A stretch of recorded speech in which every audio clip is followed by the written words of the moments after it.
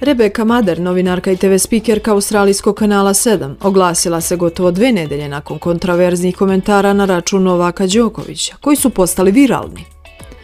Ona je u oči početka programa u razgovoru sa kolegom Đokovića okarakterisala kao lažljivog podlog, a u razgovoru za Stellar magazin kaže da je ljuta što je njena izjava van programa snimljena i objavljena. Ističe da žali što je koristila bezobrazan govor kao da je u pubu, a ne na televiziji.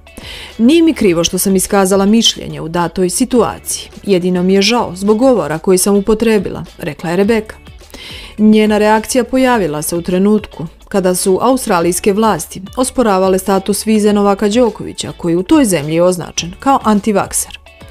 Moj jezik je možda bio neprimeren, ali šta ćeš, mi smo australijanci, brani se Rebeka.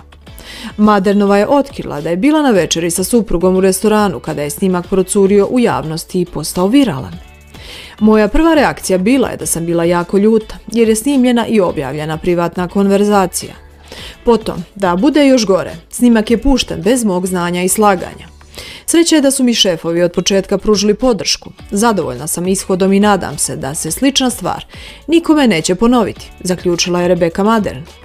Umeđu vremenu srpski teniser prinudni odmor provodi na relaciji Crna Gora-Beograd. Posle posete crkvi Ružica, pa manastiru Osrog, hramu Svetog Save, opet se obre u Crnoj Gori u Budvi.